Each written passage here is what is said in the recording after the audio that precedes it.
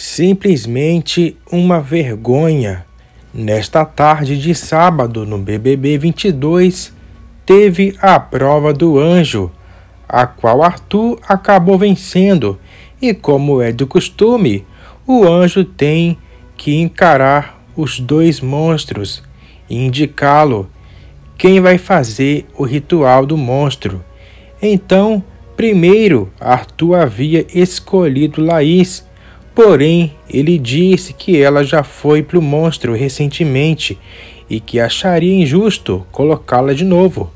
Então ele puxou Eliezer, e antes dele chamar a segunda pessoa, o Vinícius já se manifestou dizendo: Escolhe eu!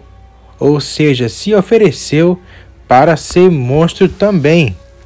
Simplesmente para ficar ao lado de Eliezer o tempo inteiro ou seja, uma grande vergonha alheia.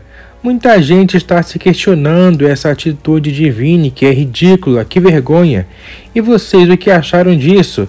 Deixem nos comentários a sua opinião e até o próximo vídeo. Tchau, tchau.